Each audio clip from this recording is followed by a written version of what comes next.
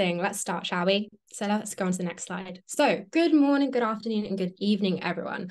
Thanks so much for joining today's webinar for the University of London's Bachelor's Degree of Computer Science programme.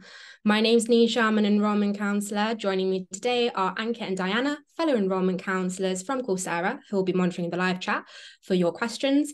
We also have Naomi uh, joining us from marketing today, who will be monitoring the slides. So, thank you for that. Um, and I'm also very excited to announce that we have our guest from the University of London, the Program Director, Dr. Matthew King, who will be joining us in today's webinar later on to answer live Q&As and to go through some of the questions that you guys have put forward. So in today's webinar, we have a lot to cover. We'll start off with program overview, where you'll get to learn more about the program structure and what the online format really looks like. We'll then delve into the tuition fees, admissions, and the application processes, and then we'll end off with a live Q&A with Dr. Matthew King. So as the presentation goes along, feel free to type your questions in. If you have anything specific for Dr. Matthew King, please do label it so we can answer those. But before we get started, we do have a very short clip for you to watch from Kyle a current student in the program. He was actually our guest star from our previous webinar. If you would like to watch that um, and what he said, Ankit will drop this into the chat box below. But let's get started and let's watch what Kyle has to say about the computer science degree. On to the next. When I was 14, I fell in love with video games.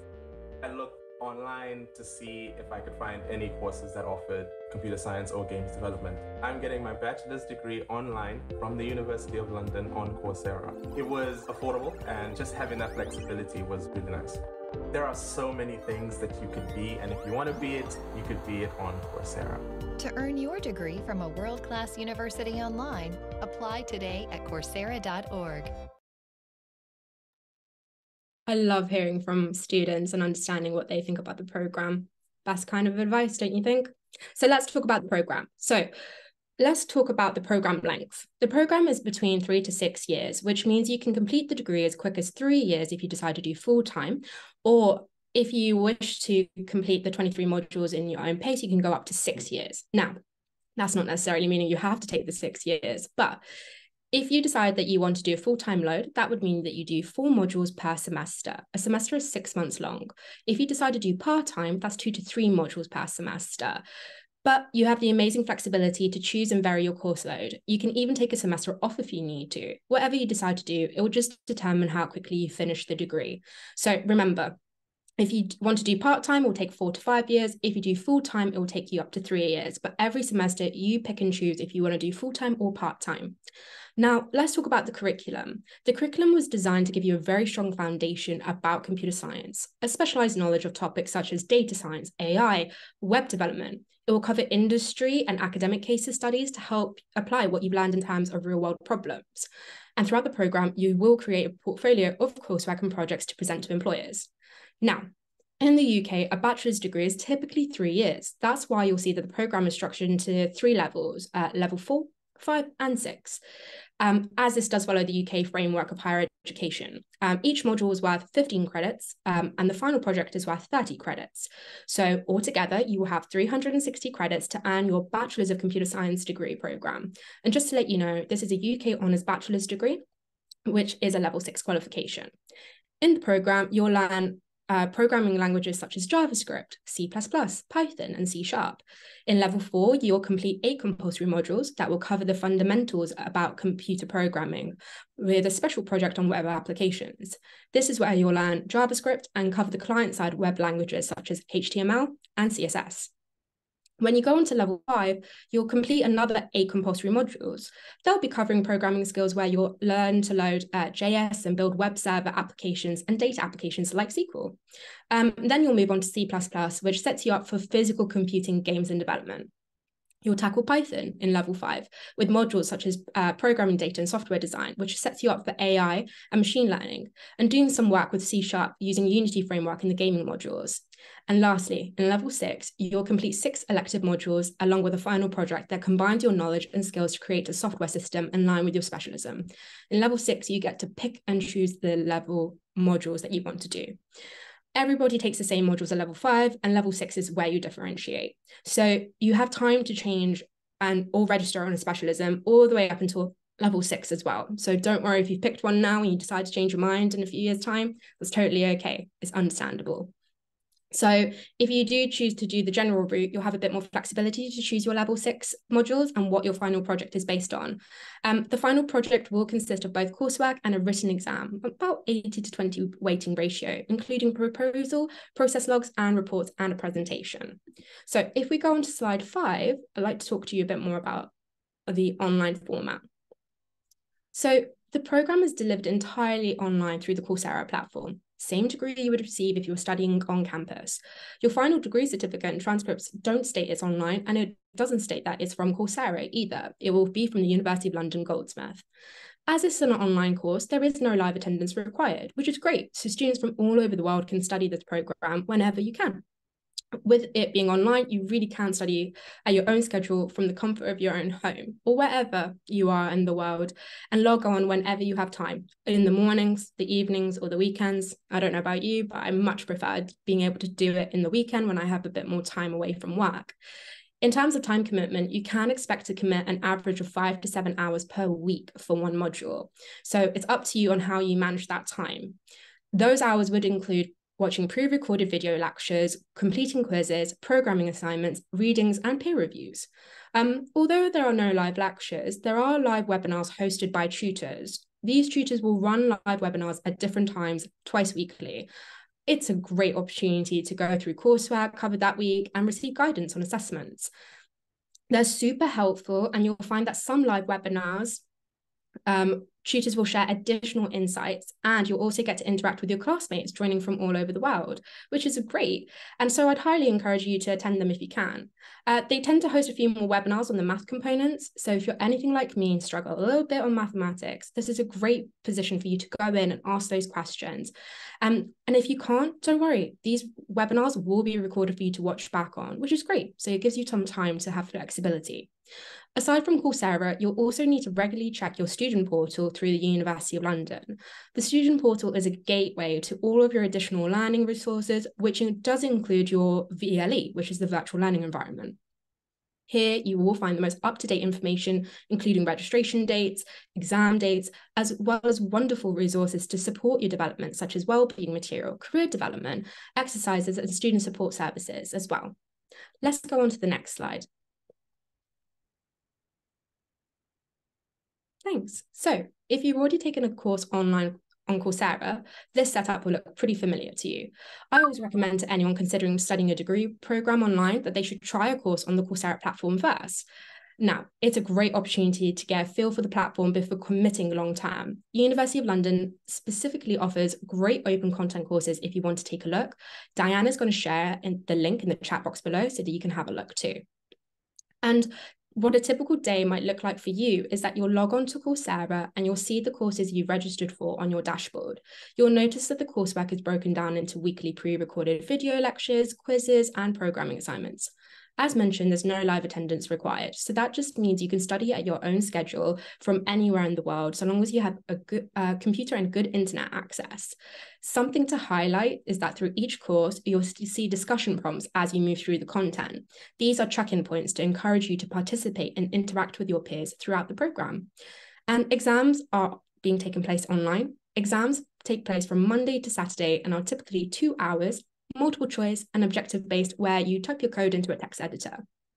Exams take place at the end of the semester when you finish your modules. So typically around uh, September and March time. So you have plenty of time to know when your exams are due. So if you have any concerns, let your academic tutors know about it. You're given a 24 hour window to act access your exam modules, and once you begin your attempt, you have the allotted two hours to complete the entire assessment. Instructions on your exams are specific to your module, so you'll need to refer to your admissions notice. But let's talk about this on the next slide. Thank you. So I want to talk about tuition. This is a frequently asked question that we have from students. So tuition is based on your residency and not nationality, and it's paid per module. There are different fees based on if you live in a band A Band B, or if you're based in the UK. If you don't know which country band you fall under, you can check this on the university's website. Ankit will add the link for the country bands in the chat box below so that you can take a look. So here on the screen, you can see that there is a range from Band A to Band B and the UK. This is the total indicative cost for the program for all 23 modules. So if you live in a band A, the total indicative cost is 12,654 and each 15 credit module is 490 pounds. If you live in band B, the total indicative cost is 18,840 pounds and each module is 736 pounds. If you live in the United Kingdom, the total indicative cost is £17,110 and each module is £667. You can find the details about your module fees here on the university's website. Diana will drop this into the chat box below so that you can take the time to review this. Tuition is paid twice a year before the beginning of each term. So that would be mid March and mid September before April and October cohorts. You only have to pay for however many modules you study in the semester. So remember, full time is four modules, part time is two to three. You pay your tuitions directly to the University of London through their student portal. Students can pay their fees via online, uh, via credit card, debit card, flywire, bank transfer. There's multiple different ways of doing so. And if you want to take a look about how to pay, Ankit will drop that into the chat box below. Also, one question that we get a lot is if the university offers scholarships and bursaries. Learners must check their eligibility requirements before applying, but Ankit will drop this into the chat box below now for you to have a review. The program is eligible for student finance loans for UK residents. Students can apply for student finance for part-time and full-time studies, but are not eligible for maintenance loan. For students who are applying for an undergraduate loan, I'd highly recommend reading through the information on the university's website and please ensure that you select University of London Worldwide on your application. If your loan is not confirmed by the time of registration deadline, you can still register and pay for your modules, but I'd keep the receipt so you can get the refund. Diana will drop this into the chat box below for any students based in the UK who want to look at student finance loans.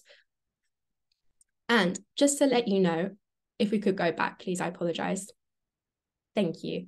Um, for those who received an offer, if you register and pay before September the 11th, you'll receive free access to one of the following certificates from Coursera. It's the Google IT Support Certificate, Introduction to Computer Science, or the Object Oriented Programming Specialization. However, if you cannot pay before September the 11th, the final deadline to register and pay for your modules is September 25th of 2023.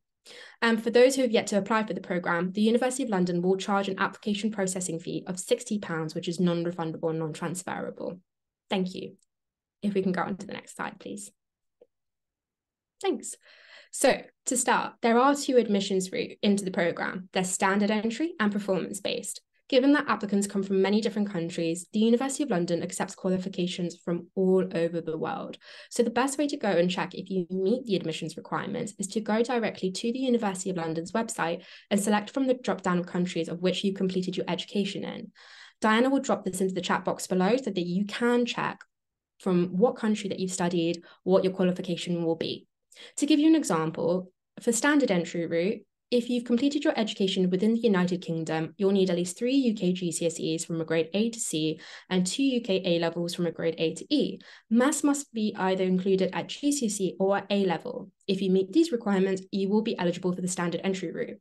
However, if you don't, you, can still be eligible to apply through the performance-based route. Now, we get this question a lot about what the difference is. So let me go through this with you now. The performance-based route is for applicants who don't meet the standard entry requirements. However, in order to be eligible for the performance-based route, you need to meet one of the following requirements. Again, as an example, if you've completed your uh, qualifications in the UK, if you have four UK GCSEs or relevant work experience, you might meet the requirements for the performance-based route you'll be eligible to apply and your application would be reviewed on an individual basis. If you're accepted through the performance-based route, you'll need to pass both Introduction to Programming 1 and either computational mathematics or discrete mathematics within your first semester with a weighted average of 40% or above in order to progress into the next semester. And to clarify, you will take those modules once the session begins. These modules are part of the program all students must take them, but just to note, you'll only be able to study part-time in the first semester if you've been accepted through performance-based. Thank you. If we can go on to the next slide. Great. So applications are now open and they will close on September the 11th, which is next Monday.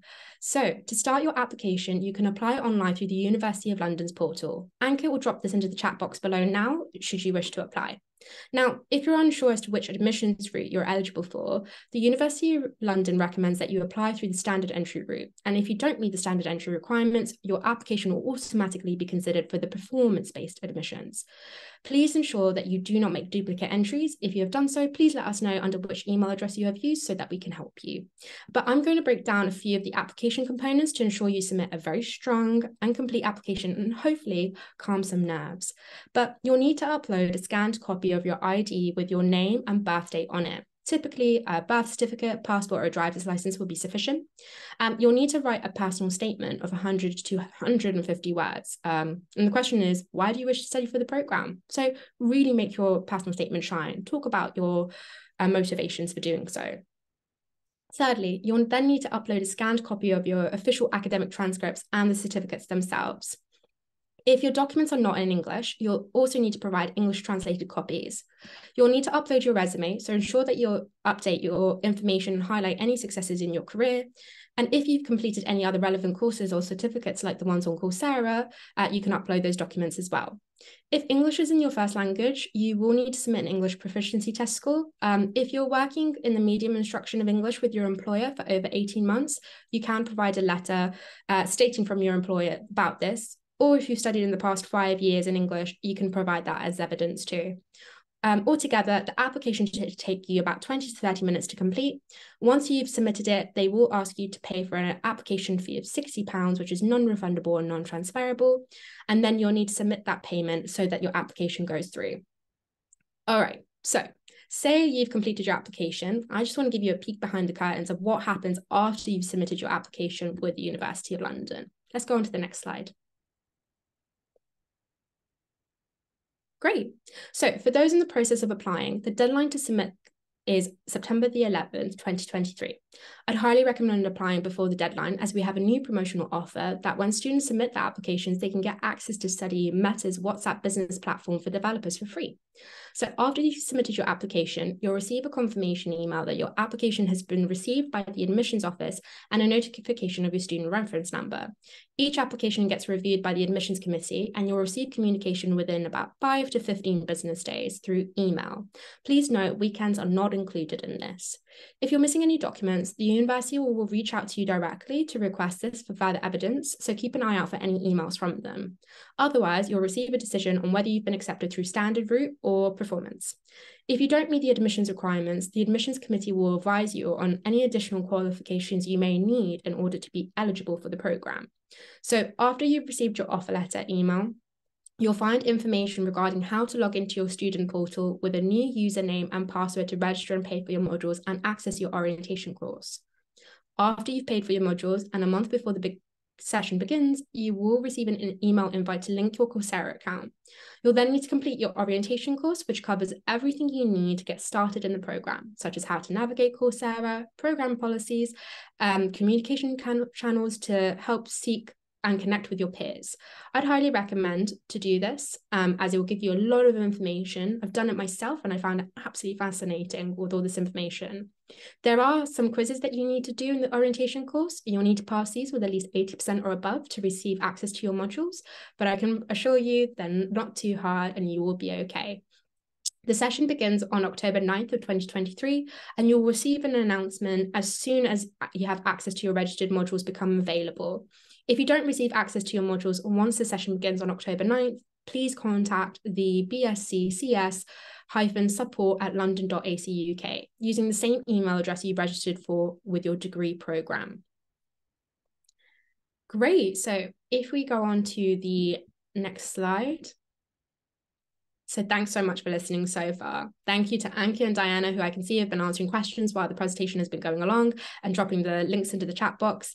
And to those who have been asking questions, I really appreciate your interest and your candor. We're now going to be doing a live Q&A session with Dr. Matthew King, who I'm very excited to introduce you all to some of these questions that have been asked by those of you sending these questions in beforehand. If you have any more questions and you'd like to ask uh, Dr. Matthew King, feel free to drop them into the Q&A chat box and remember to label it for him so that we can answer those questions left at the end of today's session. But let's start. Hi, Matthew, how are you? Hello there. I'm uh, good, thank you. Yes. Good, glad to hear it. It's lovely to see you again. I know we've done a webinar before, but it's always lovely to have you on board. Likewise. Thanks so much. Well, we have so many questions, and I'm super excited to start off them with you. So let's kickstart onto the first one, shall we? So I've had this question come in from a student, and they mentioned what resources and support systems are in place for online students, such as academic advisors, technical support, and access to library resources.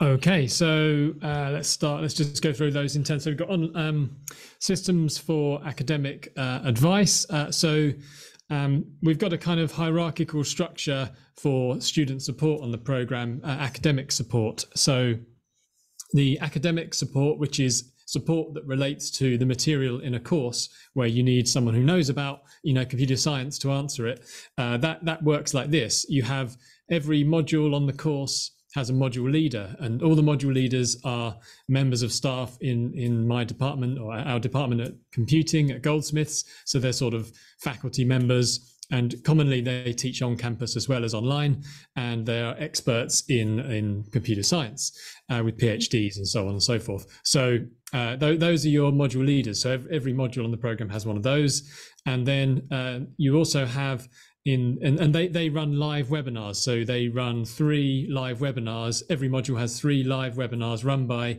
one of these members of staff every session so there's a sort of kickoff webinar at the beginning where you can ask questions about you know the module in general and they'll sort of explain how it works and then there's a midterm uh, webinar where the module leader will allow tell you all about the coursework, the midterm coursework, and what what you what's required and how you can do well, and you can ask ask questions and so on. And then you have one at the end for the end of term coursework or exam. So that's our sort of faculty led uh, support, which uh, all students can access, and then it sort of splits between uh, teaching center students and web supported students I'm guessing most people are going to be web supported students in this webinar. And if you're web supported, it means that on every module, you're assigned an online tutor and they will answer your academic queries in the online forums on the Coursera platform. And also, they run some webinars as well, uh, as and when they, they see that it's necessary. Typically, uh, in the bigger modules, you'll have a lot of webinars that you can access. And because you have multiple tutors on a given module, what we do is any tutors that run any, webinars, we make them accessible to all students uh, on the web supported model. Um, that's quite a long answer, but uh, that's the gen- that's the academic support uh, model. Uh, technical support is provided by uh, typically by Coursera, but also sometimes the online tutors would support help with that as well. So you know how to access things on the platform and things like that. Uh, you can typically get that support from Coursera, but also uh, our, our, sort of academics tend to help a bit with that as well. And then there's also the student uh, support team at, at, University of London who have an, an email address you can email and, and sort of get support that way, which is more general support about the program, sort of administrative support. And finally, the library. Uh, the library is a there's an online library, a sort of fully sort of electronic online library, which has all kinds of stuff in it, not just computer science. So you get access to quite an interesting library. You imagine the University of London has a pretty pretty wide range of books in there, but also uh, you know each module typically would have some sort of one or more textbooks assigned to it, which you would uh, access through the library, which you get access to through your account. Fantastic, thank you. And I just wanted to expand on that as well for students. Um, if you do have any technical uh, questions, queries, Coursera is there to help you. They're open 24 7. They'll answer any questions that you need, but it's great that the University of London can help. Um, and just to double check with you, Matthew, with the library resources, if we have students in the UK who want to come visit on campus, even though they're an online student, would that be okay? Uh, so you can you can visit. There's sort of two campuses really. So you got the you got the University of London uh, in Russell Square, uh, and I believe I think you, there might be a physical library you can access. Actually, talking of libraries, but in general, you can certainly go and visit the the sort of University of London and and, and check that out. But uh, also Goldsmiths campus. We do have people visiting us occasionally. It's always fun when people pop in, uh, but you know we don't formally provide a kind of service, as it were, for people coming onto campus. But we, we've certainly met a few students who've popped in, and uh, that's been fun. So yeah, always nice popping in and seeing some of your students. I'm sure, but that's great. Thank you. Let's go on to the next slide with the next question.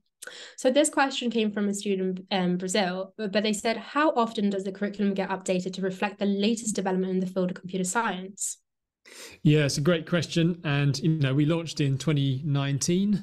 and although uh, so it's pretty pretty up to date in in that sense, but also some of the later modules we kind of launched it uh, as in in stages. So some of the late the the sort of the newest content on the degree I would say is from you know 2022 I think my AI module. I think I completed that one in early 2022 so it's fairly fresh uh, but we are also uh, at the moment developing a sort of redevelopment plan where we're sort of putting resources to redevelop uh, various modules across the program. So yeah that's that's the general thing so I would say you know some of the modules have already been updated uh, at various points and tweaked and stuff. So in terms of there are technical issues and things, but uh, relating to actually like say, oh, a whole new technology's appeared, we need to uh, cover that. Then that that's a slower process because obviously we there's a the, the, University of London has to go through a quality process where you know academics look at the new program we're adding in and, and check it, and, and, so there's kind of a long process to be allowed to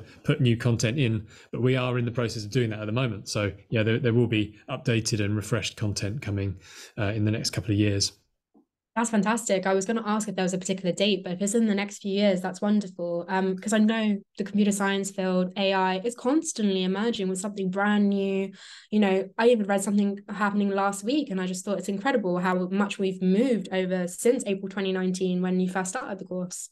Yeah, so um, I when I met when I, I was just talking about the AI course, it's quite an interesting example, and so, so that one we completed building that and launched the final bit of content on that in 2022. And I thought I was cool because I was using GPT-2, uh, but that sounds like ancient history now. But back in 2021, GPT-2 was kind of state of the art, and they're worried about releasing it because people might use it for, you know, dangerous purposes or whatever but now everyone's got it you know so it's it's yeah it, it, moves faster than universities can but we are we are moving i'll say that that's good. We've got to run and you know catch up with uh you know machines and ais and so forth. But it's great that the university of london are putting this in. So hopefully that should you know put some students at ease with understanding more about the curriculum. But thank you for answering that. I'll, I'll make one more comment as well though. So i mean this is always this is a perennial problem. It's always been the problem with computer science is that it keeps moving. So what we try and do is, is design the modules in a way where yes we try and put reasonably up to date content but on the other hand it's more about giving people confidence to learn the new technologies as they come along. Because whatever whatever we teach you in the degree, once you're off the degree in a year's time, new technologies will come out anyway. So the point is that that you as a student should be ready to and, and confident in learning new technologies. So we do expose you to a wide range of different technologies, and one some of the learning objectives for the program relate to you know you being confident about making decisions about technologies to use. So if you get a job where you've been asked oh what which ai model or whatever should we be using for this? You know you should be able to go okay what are the latest ones? What's the most appropriate one? How do i evaluate it and make a decision? So it's that process not just knowing the, the very latest acronym technology whatever. It's about having mm. confidence to be able to evaluate a piece of technology as well that's a really good point. And I think the confidence being built from a university degree, especially one from the University of London Goldsmith, I think will really give a lot of people confidence and a boost to be able to speak about it in, to their employers. Because, like you said, uh, technology constantly changes. I'm always amazed by it all. So that's great. Thank you. So let's go on to the next slide, shall we? Ah, so we had this student ask a question of how is the online learning experience designed to be engaging and interactive for remote students? Yeah, so that's, that's another great question, and you know something I've worked on for years. So the first online course I actually worked on was in 2013, so 10 years ago now. So 10th anniversary this year was actually a, a, a big course on Coursera uh, where we had 100,000 people on it, and it was all very exciting back in the early days of Coursera. And so I've, I've been working on this for years and thinking really hard about this.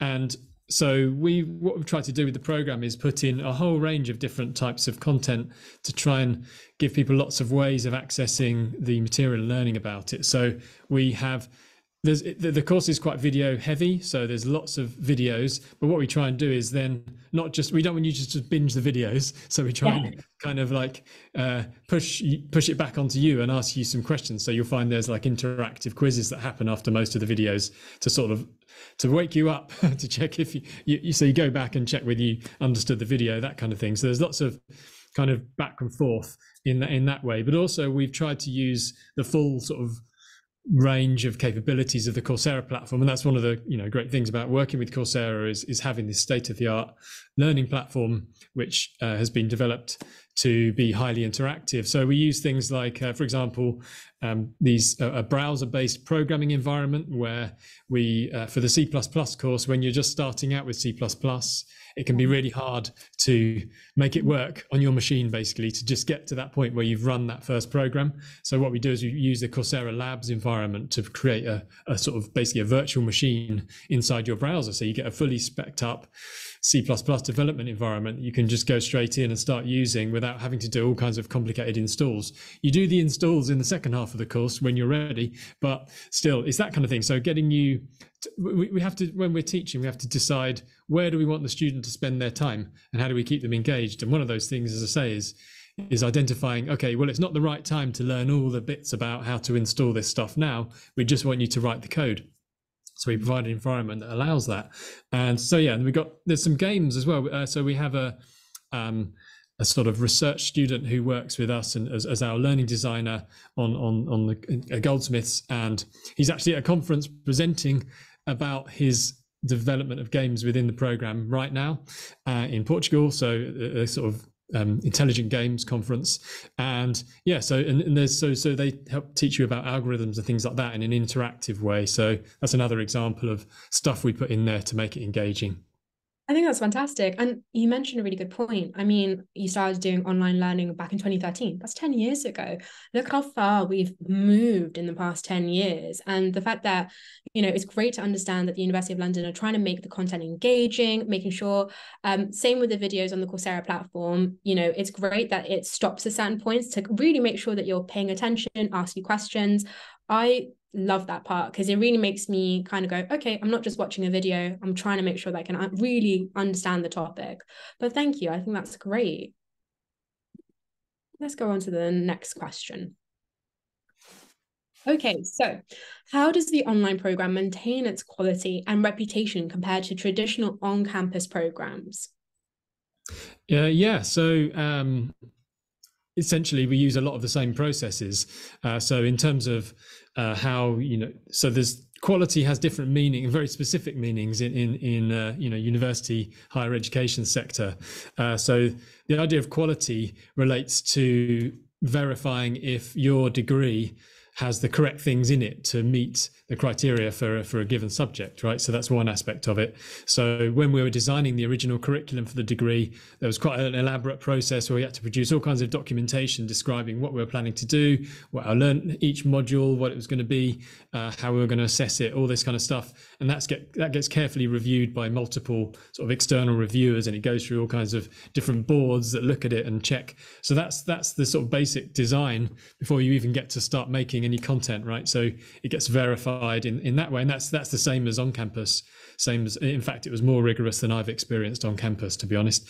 Uh, so that's one thing. And also because you've got two institutions working on it, they tend to both run the process almost twice. So it's kind of a double process. So that's one thing that assures that the basic design of the program is is appropriate and the, the sort of way that it's being assessed is appropriate.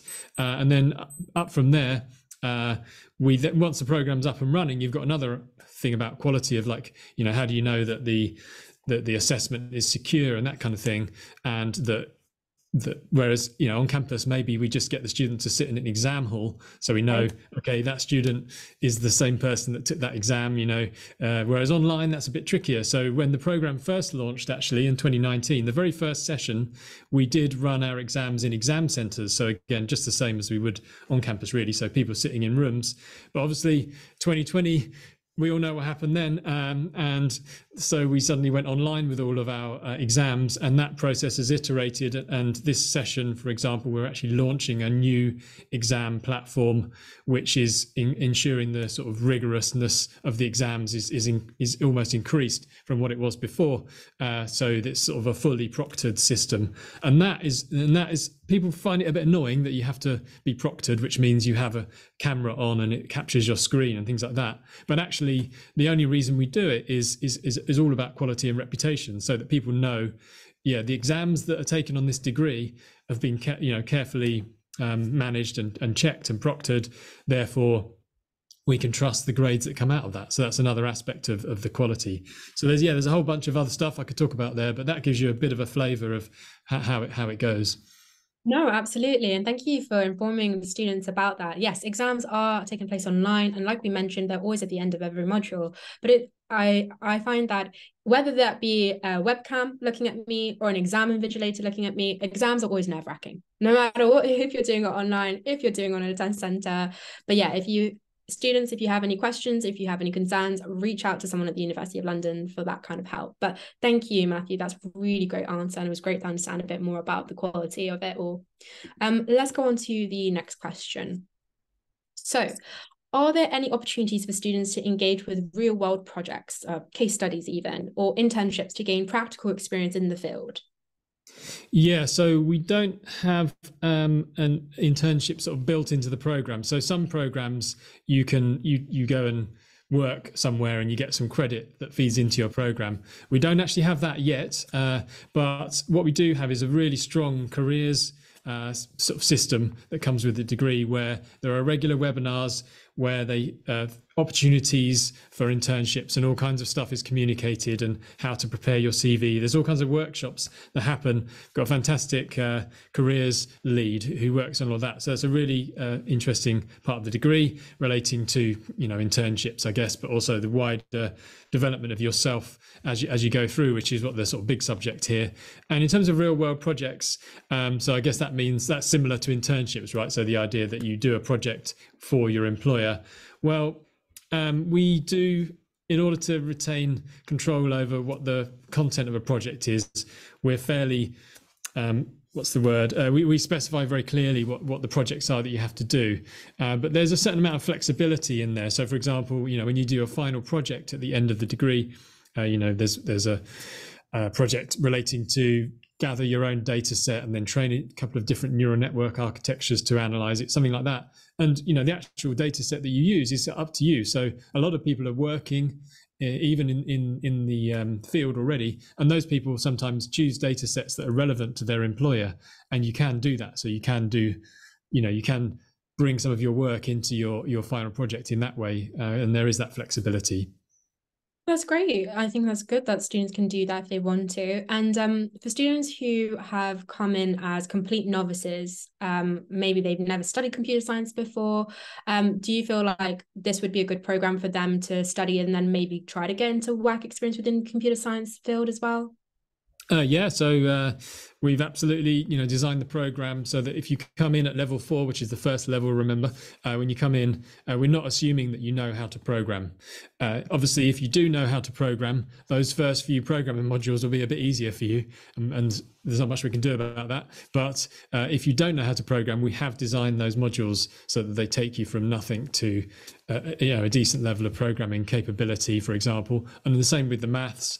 We don't assume any more maths than required. It's not like you say, well, you can get in with you know if you've got this kind of A level maths, and then suddenly we step up and don't teach you the bits in between. Uh, so we we do, we're very careful to step you from wherever you are to where you need to be to complete the program. Well, that's really good. And I'm sure that will calm a lot of nerves of students as well. I'm, I mean, I'm a complete novice. I did a Python course back in 2020 and I wouldn't know anything about it. So maybe a computer science degree might be a good fit for me too. So let's go on to the next slide, shall we? So, are there options for specializations within the computer science program that focus on specific areas like um, AI, cybersecurity, or software engineering? We're having a lot of students who are very interested within those fields, especially within AI and cybersecurity, because obviously they're very hot topics at the moment. Yeah, so we don't. I'll, I'll start with what we don't have. So we don't have an explicit specialization in cybersecurity or software engineering yet. Uh, but we've certainly we're kind of looking, as I say, we're doing some work on sort of redeveloping the program or, or, putting some development time into the program at the moment. And cybersecurity is something we're kind of looking at there, uh, but nothing firm yet, but uh, what we do have is multiple specialisms in other areas. So we do have an AI and machine learning specialism, and we have a VR uh, specialism, and a games development specialism, and a web web and mobile, and a user experience one. And so, and and the idea with these specialisms is at level six, which is the final level of the degree, there are optional modules, right? So if you just if you don't choose a specialism, you you've got I think 14 different modules you can take, uh, and you would take uh, six of those plus a project. So you choose six out of the 14, and then you do a project. But the way the specialisms work is we, we we've selected certain modules for you and we say, well, if you're if you want to be a specialist in machine learning and AI and you want that in your certificate, then you need to take this combination of level six modules. Plus, there's a couple of optional ones, I think. So you kind of have a core set that you take, and then there's some optional ones. And they, the, the idea is that they, they work together to give you that specific skill set. Similarly with games, for example, you know, we say, well, if you take this, this, and this, then we, we would consider you to have a specialism in games. And you'd also typically do a project. If you do a specialism in AI, your project project would be in the area of AI or, or neural networks in, in that area. And you're same with games or, or web mobile and so on, you would do a project in that area. So when you are applying for jobs, uh, you know you'll have a fairly substantial project that you've done in that specific area which you can show to your uh, prospective employer that's really interesting i think it's great that the university of london offers seven different specialisms you know it's a really unique point about this degree. They can really tailor it to the way that they want. Um, but very interesting to know that cybersecurity is coming up. I'd love to hear about that development. But let's go on to the next slide, shall we? So a lot of students ask, because it's an online degree, they want to understand if there's opportunities for students to collaborate with peers, both within the online platform and through their group projects. Yeah, so that's there's a really uh, interesting or or valuable component of, of the degree experience, which is not really obvious when you look at the documentation. And this is the Slack community. So there's a Slack workspace dedicated to the degree students, only degree students have access to. And that workspace is uh, very lively, as I understand. It's like a student led space. So it's like a big old student common room, really, uh, where, but it, it's, it's, like a student building because there's all these separate rooms, right? Uh, so for different modules, and there's a whole so study groups happen in there, all kinds of things happen in there. So that's a really interesting thing, and, and it's worth remembering that because it's an online degree and it's an international degree you've got people from you know 150 countries or whatever in in the degree. So in that space you can meet people from all over the world and have really and also a lot of those people are also already working in the industry. So we have a, a surprising number of students who are already working in, IT jobs and computing jobs who, who are studying. And, and so it's a good opportunity to network as well. So yeah so that's a really interesting and valuable part of the degree that relates to collaboration with peers. Uh, but there's also sort of more formal collaboration where there are I think depending which level six modules you take, but you could do up to uh, three modules where group work is required. So the web dev module at the moment requires group work, and that's level four. And then second level, level five, you do the agile software projects module where you, you have to work with a group, and also the games development module at level six is a group work module. Well, that's really great to understand. And I think the common question I get from a lot of students, and I know my fellow enrollment counselors do as well, is when it comes to the group projects, if you have students, and one of the best things about this degree is that you can work with students from all over the world, 150 countries plus, as we said, um, how would they manage to do the group projects? Like, how would they manage to communicate with another? For example, if we have a student in Brazil, someone based in France, there's different hours. So, how have students in the past historically managed to go around that? Yeah, so we use Slack basically. So what happens is when you when we have one of these group work projects, uh, it when you get put into the group, the platform generates a channel for that group on Slack, and you kind of flow through into that, and that's where the discussion takes place. And because it's asynchronous, uh, you know you can be in different time zones and catch up with the messages at different times and people arrange convenient times to meet with each other and things like that. So we kind of leave it to the students to, to some extent but that's the platform we provide to, to enable that. And yeah so a lot of people have really good experiences. You know I will say that on campus as well, you know, group work is the big challenge. You know, you know what happens when you get into a group with people who don't work and all this.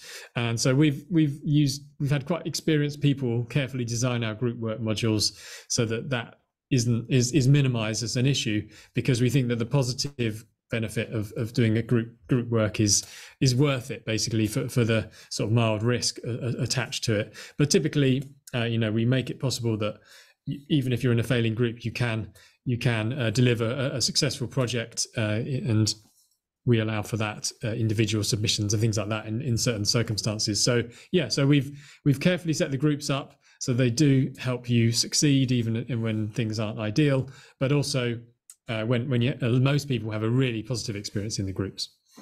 That's really great to understand. Thank you so much for answering that. I really appreciate it. If we go on to the next slide. Thank you. So, um, can you provide in- information about the faculty teaching in the program? Are they experienced in online education and industry professionals? I know you mentioned earlier in the call and the Zoom meeting that obviously we have, you know, professors with PhDs, been working with faculty. So if you could expand on that, love to understand a bit more. Yeah. So, um, yeah. So in terms of, so what's worth knowing is that the the people that, that we assign to teach the modules, um, they are yeah, members of faculty.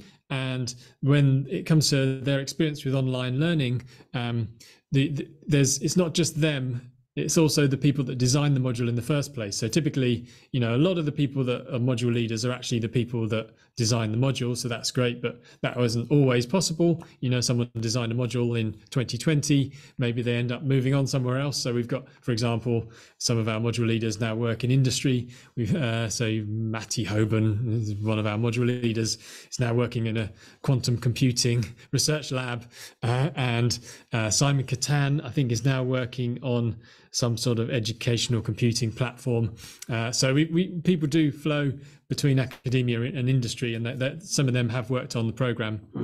So yeah, uh, they're all uh, experienced, typically experienced educators, the people that run the modules, and you know we also make quite a lot of effort to make sure that everybody knows uh, we share information and we have regular meetings with all of our module leaders and check in to make sure that good practice is shared and that, that they know what they're supposed to be doing basically and how to deliver. Because it's quite i mean the, the the bsc is quite a specific design of, of how to deliver a program. So you know there is a certain amount of specialized information relating just to this program that we we we help uh, people learn when they come in new and also we've got this sort of online tutor community and actually the tutors help some of the module leaders sometimes as well because we've got some very experienced tutors who've been working on the modules for many sessions and so there's there's all kinds of sort of latent knowledge floating around in in our team and so we just make sure that we try and share that as best we can well, it's a great collaboration, I think. But yeah, thank you so much for answering that. I I appreciate we have 10 more minutes. So I just wanted to ask you the last question and then we can crack on with the live Q&A. As I can see, there's been loads of questions and we will get to them. So thank you so much for everyone answering them. Uh, well, the last question we've kind of already answered, but I guess we could talk a bit more about the assessment part as well. But how would the assessments be conducted for online students? You know, um, I'm assuming obviously this is an online degree, so there wouldn't be that much of it on-campus requirements like it used to, because obviously it's changed after COVID. But just wanted to understand a bit more about the assessment side, really. Yeah, so each module has two hard deadlines for assessment in one at the midterm. So they they run for 20, 22 weeks. So you normally have a midterm assessment during a, around week 10, depending on which module it is. And that's a course, that's always a coursework, the midterm at the moment. It's always a coursework and that you submit that you know as a set of files and then it gets assessed uh, and, you know and you have several weeks to work on it. And then the end of term um, um, assessment is either an exam or a coursework. And if it's a coursework then depending on the module uh, if it's a coursework then it will be the same as the midterm. You know you just submit some files at some point in time by a deadline. And then, whereas if it's an exam, then you will go onto this exam platform I mentioned earlier, which is called Inspera, and you go on there uh, at a specific time on a specific day, and you have a certain amount of time to take your exam and you then you, you basically type your answers into the platform and it has drawing and math mathematical formula capabilities as well so that's how that works and so it's all fully online that's great thank you. And for any students who have any questions about that hopefully that's answered it for you. Um but great let's go on to the live q&a shall we so thank you everyone for listening so far. I really do appreciate it. And thank you so much to Ankit and Diana once again for answering these questions. Um, I can see that there are some fantastic questions here, but one of the questions that I wanted to ask you, Matthew, if that's okay, is um, one of the questions is how can I get involved in undergraduate research in my first year? Um, that's interesting. Yeah, undergraduate research. So, I mean, typically, you know, research happens when you have a PhD and you, you, you become a postdoctoral researcher, but uh, your own research would happen during your PhD potentially as well. Uh, but um, sometimes people do it at master's level. So I would, eh, but I would say that research does kind of happen at level six as well. So in in the undergraduate degree, uh, sometimes people do research in their project, which is of a standard where it could actually be published at a conference, for example, and that's people who are getting very high grades might be able to do that. Uh, so that's that's when research would happen. Uh, in terms of sort of research that's related to stuff that's happening on, you know, here, what researchers are doing, there isn't really a direct route for doing that at the moment. And but it's an interesting idea, the idea of undergraduates working in in research teams. But yeah, typically that's that's when research would happen i would say towards when you're later through the degree level six and you're doing those specialist modules and you're doing your final project. Thank you so much i appreciate that. Um, we have another really pressing question is um, obviously as we mentioned in the webinar earlier will university of london introduce cybersecurity specializations in level six in the future? And if yes when yeah, so uh, we we haven't finalised the schedule for this project where we're we're sort of redeveloping the program yet, uh, but uh, we're certainly looking at uh, the possibility of, of new specialisms. So uh, I can't really give you a firm answer on that yet, but that, we've we've we've been in discussion with Coursera about the fact that people are keen to see a cybersecurity specialism on the degree, and we, you know we're looking into how we we can deliver that. Sure, I appreciate that. Thank you so much. Um, we still have a few more questions and we have about uh, five minutes left. So let's go through this. Um, one question is from Noel. Will we get a physical certificate for the course? Just to let you know, Noel, yes, you will. You will get a degree certificate from the University of London. Doesn't state that this is an online degree, nor does it state it's from Coursera as well. And you can attend a physical graduation ceremony as well and wear a gown and a cap and uh, you know walk on stage and be presented with the degree certificate. Everyone loves that. I know my mum does. She has pictures of all of us in our graduation caps and gowns. So if anyone wants to come to that you can attend. It's not a problem at all. But just to let you know you won't be um you'll have to pay for your own travel and accommodation just so that you're aware. But if you can't attend don't worry. University of london will post it through to you in the mail. Okay. So let's go through a few more questions. I have, oh, what percentage of graduates go on to pursue a master's or a PhD after doing the University of London's computer science degree? Do we have any information on that at all? Yeah, I don't, I don't have percentages, but I'm certain, I'm certainly aware that a lot of students are uh, go into master's courses. I know we've had people accepted.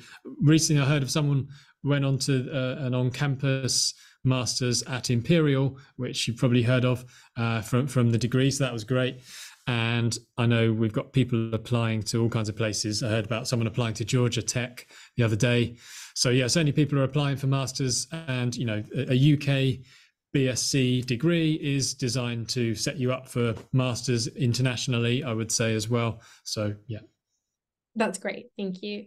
Um, to this question, this degree is with an honours. So this is a UK honours degree. Um, so it will be a level six UK qualification that you'll be receiving. Um, I have one more question for you, Matthew. This is from Adrian. Will online students have the opportunity to collaborate with on-campus students by any chance? Uh, we don't have an explicit route for that yet. Uh, so, but that's uh, again another interesting idea. But it's quite difficult to organise uh, ultimately. But uh, yeah, so we we do have some students who have transitioned from the uh, online program to on campus, and a few who've actually gone from on campus to online. So, but they don't collaborate, as it were. so yeah, no, nothing in place yet for that. But yeah, it's an interesting idea. It is, it is. Um, I actually have one more question. Uh, it's coming up quite a few times, but how competitive is the entry into the bachelor's degree of computer science program with the University of London, in your opinion? Um, so we competitive normally means there's a limited number of places and so therefore the sort of the people are filtered uh, who can get onto the degree. But the only filter we currently apply is whether you meet the entrance criteria. So if you meet the entrance criteria you're you can go onto the degree. We don't have a limited number of spaces currently. Fantastic. So for those who have just heard, if you meet the entry requirements, you can apply through standard. But if you feel like you don't and you don't know if you apply for performance based, uh, feel free to book a meeting in with an enrollment counselor. You can scan the QR code on the screen now, and we can help you go through any questions or queries. We're here to help. Um, for Alexander, there is the October intake and then there is an April intake. So, Matthew, just to uh, keep me honest here, there are two cohorts every year, if, if I'm correct. Yeah, that's correct. Fantastic. Okay. All right. Well, thank you so much for all these questions. And thank you so much, Matthew, for answering all of these. I really appreciate it um, and all the time that you've taken. Um, your insight and knowledge was fantastic. And I'm sure the students enjoyed it just as much as I did. So if we go on to the last slide. I just want to say before we wrap up, I really encourage you to connect with an enrollment counselor. We're really happy to ha- answer any questions you might have, anything you'd want to know about the program, about the University of London. We're here to help. Um, and we'll send out the recording of the webinar and a follow up email, and you can schedule an appointment there or click on the meeting link in the chat box below that Diana and Ankit will share. Um, but I just want to say once again, thank you so much to Matthew for all your knowledge and all your time. I really, really appreciate it. Any last words of wisdom before we let you go? Yeah, th- thanks, Nisha. Yeah, yeah. Uh, so, you know, just remember that the the unique aspects of the degree, I suppose. You know, just remember that you're joining this international huge community of of students uh, and you, you'll meet some really interesting people on the degree. So don't think of it just being you studying on your own you know it's really a, a great community and a very helpful and knowledgeable community that you'll join when you, you when you join the degree. And that's maybe not so obvious when you look at the information online and stuff like that. So i just want to emphasize that Thank you so much. And yeah, it's been running so successfully since April 2019. The computer science uh, community is humongous. So if you want to know more information, book a meeting with an enrollment counselor and we'll be happy to help. But yes, once again, thank you so much to everyone.